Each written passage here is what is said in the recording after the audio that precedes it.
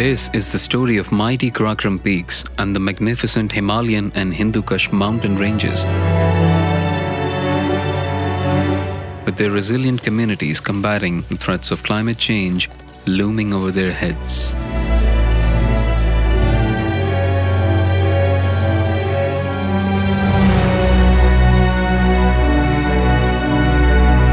In recent years, rising temperatures and rapid climate change conditions have put vulnerable communities at risk of flooding and water insecurity.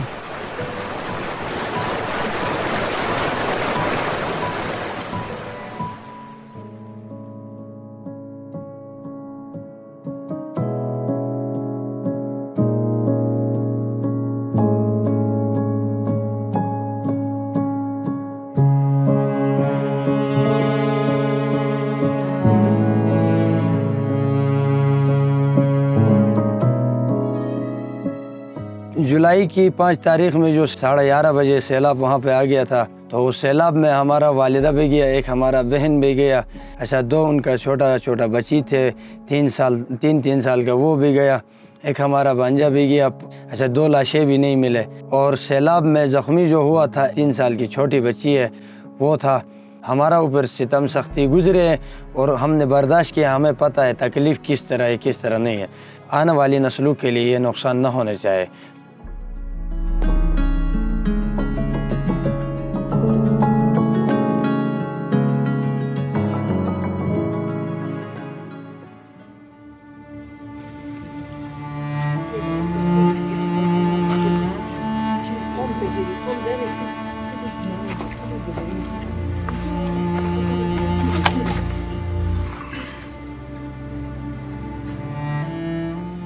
Sir घर था हमारा, ये बस सड़क डूब गया है, खत्म हुआ। है ऊपर आसमान है, नीचे ज़मीन है हमारे पास।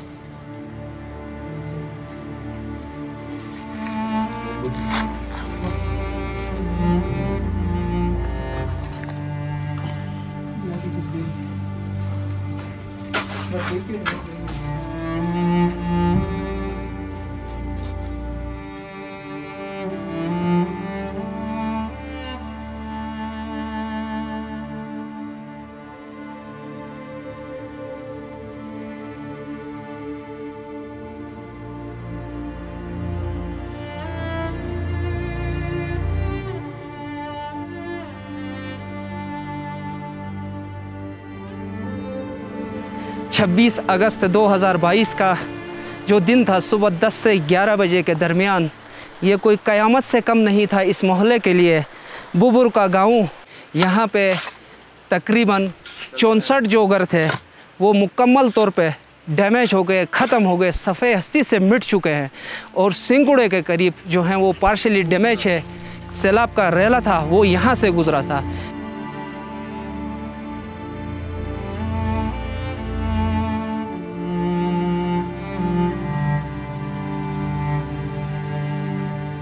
अचानक से जो है हम घर में बैठे थे और अचानक से आवाज़ें होने लगी।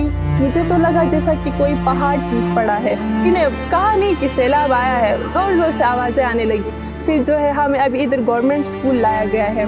अब हमारा जो इलाका सारा था, जो मोहल्ला था, वो सारा जो है डूब गया है कि मेरा ये ख्वाब है कि दोबारा से जो है हमारा इलाका इसी तरह बने। चाहती हूँ कि हम दोबारा से मिल के रहे, अपने दोस्तों के साथ, अपने हमसायों के साथ। मुझे बहुत याद आते हैं वो लोग।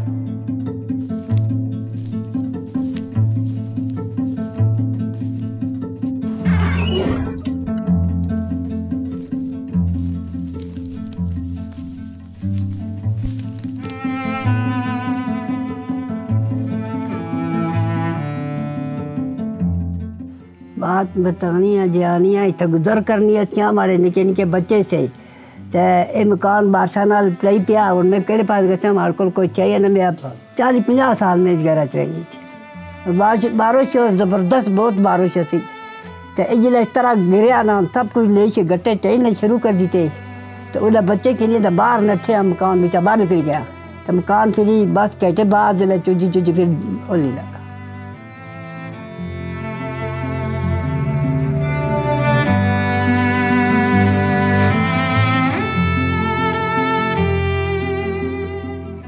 ये लग रहा था कि हमारी ऑर्गेनाइजेशन सिस्टर ऑर्गेनाइजेशन पार्टनर्स जिस किस्म की इंफ्रास्ट्रक्चर डेवलप कर रहे हैं वो हमारी नेचर से मैच नहीं खाती। Right from forestation to construction of gabion walls ठीक है इरोजन कंट्रोल स्ट्रक्चर्स तो इन तमाम चीज़ों को मद्दनज़र रखते हुए हमने uh, कोशिश ये की कि जो एक न्यू फिनोमिना uh, बना है वर्ल्ड में कि आप नेचर को नुकसान ना करें और नेचर को मद्देनज़र रखते हुए यानी बायोडाइवर्सिटी को वाटर को ग्लेशियर को फॉरेस्ट को मद्देनज़र रखते हुए आप अपनी डेवलपमेंट एक्टिविटीज़ करें The high mountains of northern Pakistan comprise the western section of the Hindu Kush Karakoram Himalayas. These gigantic mountain ranges are home to some of the rarest species of flora and fauna. Some prominent wildlife species of the region are Himalayan ibex, Kashmir markhor, snow leopard, and Himalayan red fox. These mesmerizing areas of northern Pakistan are also known for tourism amongst the international community. But rising global temperatures and rapid climate change in recent years along with increasing population, have brought unprecedented pressures on the biodiversity of this region. Heavy rainfall and flash floods have incurred immense human costs. People have lost their homes, crops, livestock, and livelihoods. Infrastructure has been severely damaged, disconnecting regions from the mainland, disrupting the supply of goods, and exacerbating the issue of food insecurity to epic proportions. Children are at risk of malnutrition and stunted growth. In this regard, several undertakings to protect these communities and depleting biodiversity have been initiated by several governmental and non-governmental entities. These efforts are commendable but not self-sustaining and long-term. Nature-based solutions are the most effective ways to tackle these challenges of climate change in the long term. To support these communities and lessen their vulnerability to the effects of climate change, WWF Pakistan, with the support of UK Aid, is implementing nature-based solutions. Nature-based solutions include building climate-resilient infrastructure, conserving forests, and restoring wetlands. The challenges of climate change and water insecurity cannot be tackled alone. Hence, WWF Pakistan, with the support of UK aid and local bodies, is working with the local communities to equip them with the dexterity to combat these challenges with nature-based solutions.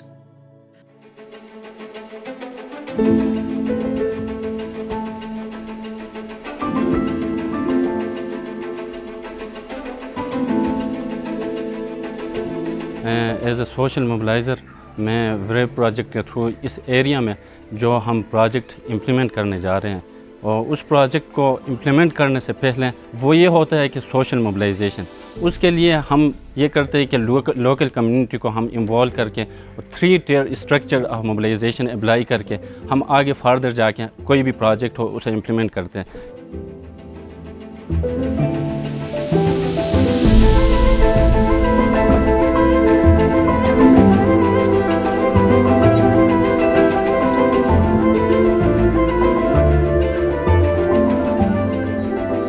Conservation officer काम कर रही हूँ और यहाँ पे हम पाँच गाँव हैं जिनमें अपने सारे जो इंटरवेंशन है वो करना चाह रहे हैं। बेसिकली हमारा प्रोजेक्ट जो है वो पानी से रिलेटेड है फ्रेश वाटर की अवेलेबिलिटी इन पाकिस्तान तो इसलिए जितने भी हमारे यहाँ पे हरीपुर के देहात है, उसकी ये प्रॉब्लम है यहाँ पे इरीगेशन चैनल्स नहीं है। उसके लिए ज़्यादा हमें बारिशी पानी पर इसार करना पड़ता है। जो कम्यूनिटीज़ हैं, बिलखसूस जो ख़वातीन हैं उनके लिए हम ये कर रहे हैं कि उनके लिए ऐसे ऑल्टरनेट लाइवलीहुड्स हम सजेस्ट करके दे रहे हैं जो क्लाइमेट रेजिलियंट हो। तो हम ये चाह रहे हैं कि हम लोगों के साथ मिलके कम्युनिटीज़ के साथ मिलके, उन्हीं से, उनके साथ मिलके, उन्हीं के सोल्यूशंस डिवाइस किए हुए जस्ट हम उनके साथ मिलें, उनके फ़ैसलों पर ही, उनको सिर्फ़ हम टेक्निकल सपोर्ट उनके साथ हम दही तंजीमें बनाते हैं।